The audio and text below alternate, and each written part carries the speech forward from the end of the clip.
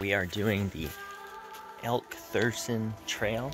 The epic view up here is apparently amazing. Let's go. Oh, Daryl, what the hell?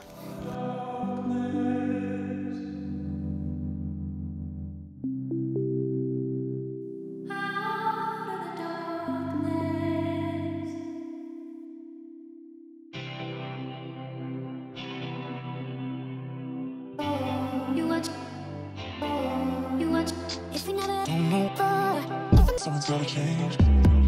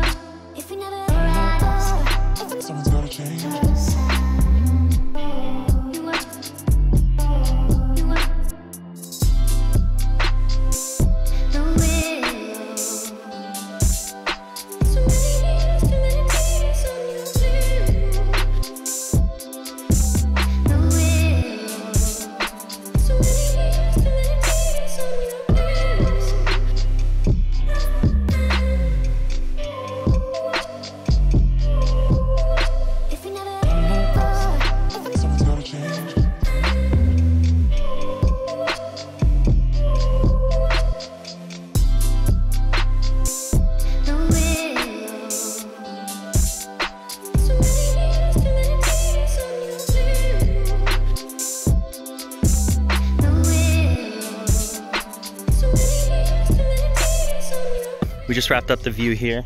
Now we're going to do a portion of this other peak. Daryl says there's another view. Walk about another 10, 15 minutes or so.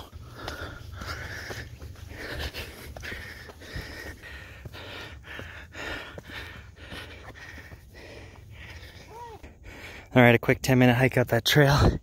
We've got even higher and you can actually see a lot more of the mountaintops.